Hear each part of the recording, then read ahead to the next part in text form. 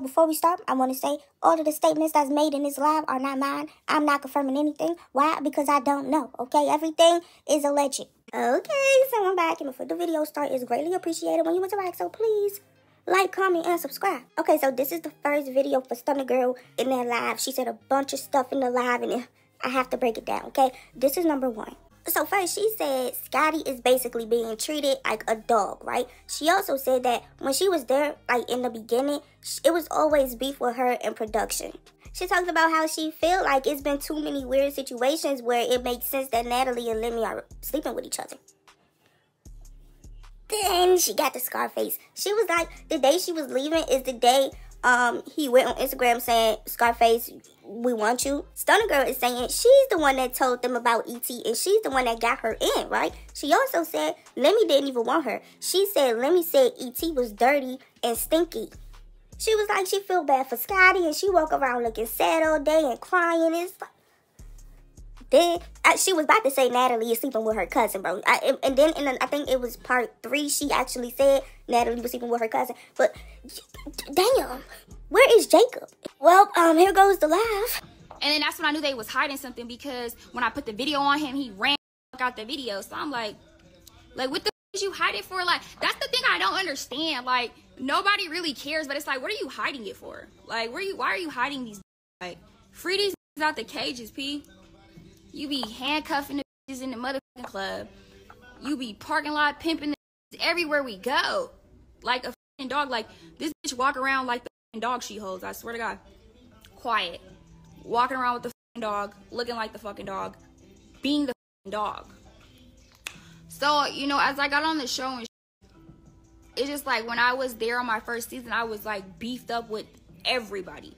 I was beefed up with him. I was beefed up with the whole fucking production. Like I was just beefed up because it was just hella weird happening. Like they really felt like when I was on the show, they like they really try to like make it to where I was just like didn't have nobody. Like they wanted me to be there just while I'm, while they got outsiders coming in to fight me. And he wasn't going for that. You feel me? Like, but it's like they do that weird. Shit. I could see why like he was doing that with like Chrisean and Blueface.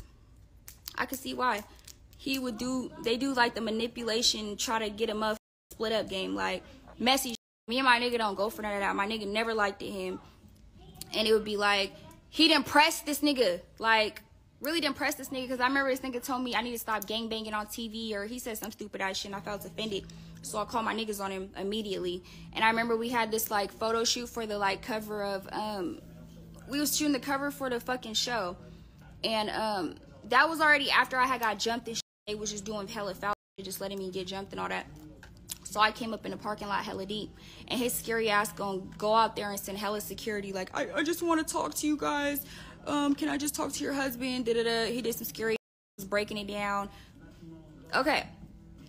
But my whole thing would be with this dude is like, he acts like a straight female, like a bitch. Like, you act so, you, that nigga acts like, and it'd be like for no reason. Like, what do the point do this man be having to go in these interviews and get on Instagram, write paragraphs, be trying to troll me?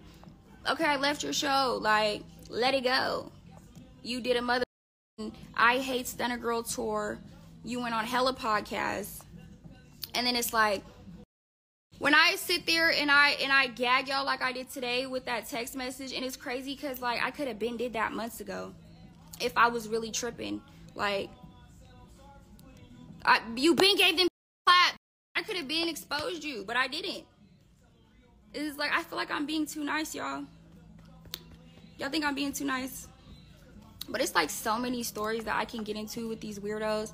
And then nothing I'm saying is it's all factual. So for him to get on Instagram today when I wasn't even talking to him and saying, "Oh, everything's fictional," where I, I can hate his voice. Everything's fictional. None of the stories that she portrays are true. Uh, it's like you, a hit dog, were holler. I wasn't talking to you. I said you were her pimp. I wasn't talking to you though. Cause you are. Natalie is your bottom and it's time that you it's that you admit that. Y'all be fucking. Y'all do. Y'all do. and she be the friend. But y'all two, y'all be fucking. Cause there ain't no mother way in hell. And then they didn't say little shit too. Like they do little weird shit. Like we was in the club when I was just uh, at the Baddies Easting, and I went to the cl- uh, only day I went to the club with them, and she was like, she was standing right next to me. She was like, turned to him and she was like, I want you tonight. So you're not fucking, but she wants you tonight. Like you act like I'm over here saying you, you smoke crack. You know what I'm saying? Like, I just feel like, and then I feel like the reason too I even dropped that tea on y'all a long time ago is because he be hella disrespectful and he can't disrespect me. And so y'all wonder why I left the show. I said it was for a lot of reasons because I demand my respect, and that's why me and bro was always bumping heads all the time.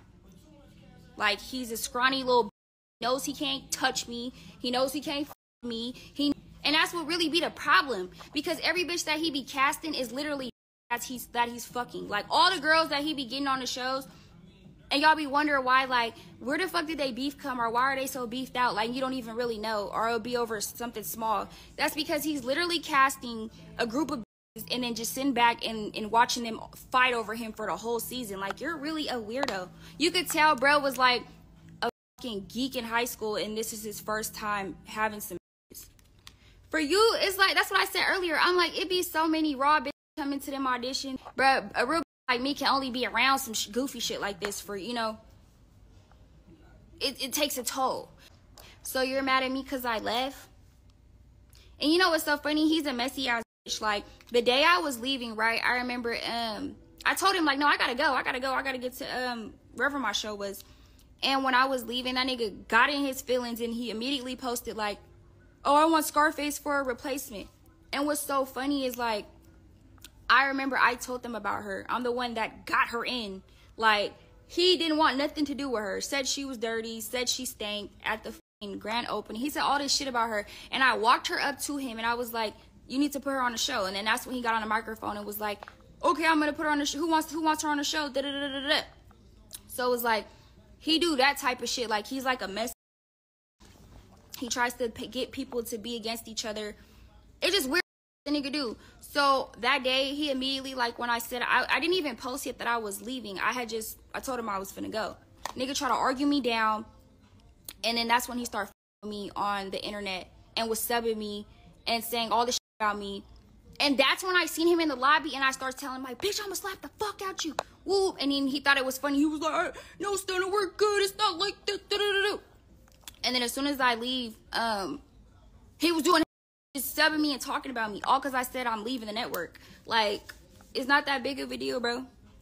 If you feel like you around here making stories, bitch, make another one. Why does that you get on your platform already have followers? I already had 300k followers when I got on the platform, and I really feel bad for um Scotty, cause she just like walks around like his little pet. I'm starting to think she's a a walking Frenchie. You know what I'm saying? I'm starting to think that she's a that she's a that she's a living Frenchie. Bitch walk around sad all day crying. He be having her cooped. That nigga be handcuffing bitch P. I remember when we was out at my birthday and my uh, big cousin, he was like standing next to her like like she was like standing behind him or something. That nigga came over there and I'm talking about like made that stand in a corner and look at the wall. Like, I couldn't believe my mother eyes, bro. I was like, bitch, you finna let this nigga in the club, put you in a mother corner, bitch, like you on mother timeout. I could get my big cousin on here right now. That's the one that Natalie was that. I'm talking about hella insecure. Like, how you gonna make the stand in the corner, P? In the club. We're in a club. It's a small space. She can't she can't stand in the section. He's about to have a fucking heart attack. Anybody. Like when I was just on No Jumper, um, the interviewer was like, "Yeah, I was just in Vegas with them, bro. He he was he didn't even he was acting crazy. I, I couldn't even talk to the bitch. Then look at the bitch. And then it's like, nigga, like the uh, shit that I had put on my Twitter today. That's just the truth. Hold on, more song. Disney. Nigga, mm, mm, mm. But yeah, that shit I put on, uh, let's get into that, the, the tweet. So, um, this was, I had already, I know, this, this was the day that I was leaving the show. Oh, no, no, this was the day I was getting my makeup done before I was leaving. And then, um, old girl's business got exposed and and then they was already beefing because the other been around before her. Okay, so that's it for this video. If you found it interesting, and I hope you did. Please like, comment, subscribe, share, turn your post notifications on. Thank you.